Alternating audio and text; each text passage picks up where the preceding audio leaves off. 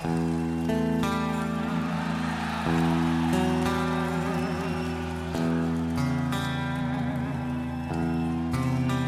see the hands, everyone.